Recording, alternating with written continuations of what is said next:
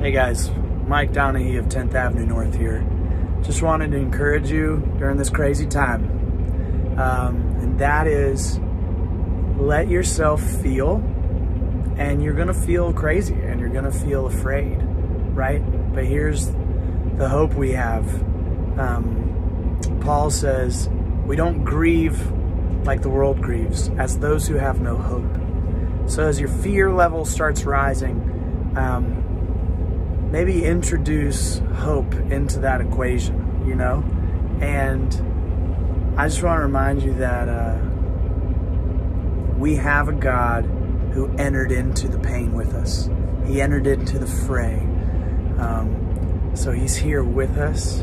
And uh, I hope that brings you a lot of encouragement that you're not the only one who's ever cried out, My God, my God, why have you forsaken me? Uh, Jesus cried that out, so you're in good company and trust that He will answer us. He will meet us. He will see us through this. We're going to do this, guys. We got this.